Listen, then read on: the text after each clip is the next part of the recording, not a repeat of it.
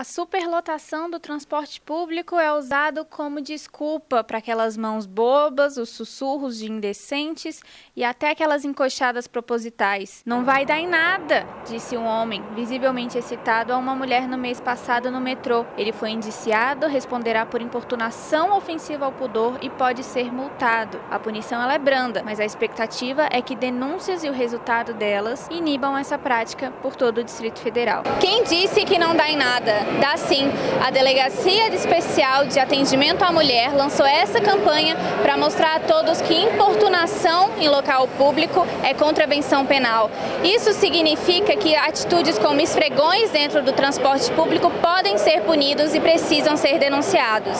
A babá Vânia Rodrigues lembra bem de quando foi alvo de um assediador dentro de um ônibus. De repente, eu senti algo assim atrás de mim que não era normal, né?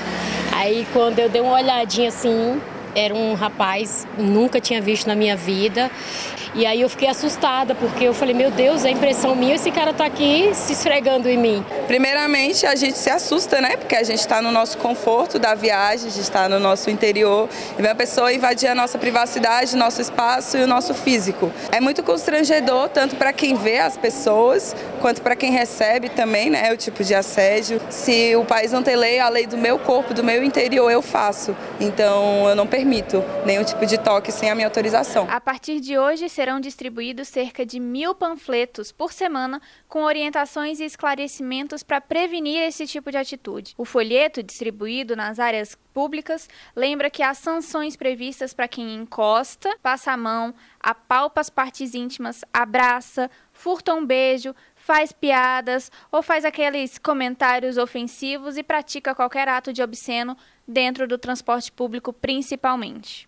É verdade. A, a, nossa delegacia, ela recebe denúncias, ela recebe, elas, ela, elas têm conhecimento de que esses fatos acontecem e as vítimas não reportam muito. Elas estão começando a reportar mais. Então, em razão disso, a Polícia Civil está lançando essa campanha, que não vai ser uma campanha sazonal. É, o nome da campanha é Quem Diz Que Não Dá em Nada, que é justamente o que comumente se fala. Inclusive, nesse caso em especial, houve essa fala: isso não dá em nada. Se houver algum tipo de violência, a gente pode estar diante de uma tentativa de estupro, cuja pena é bem alta.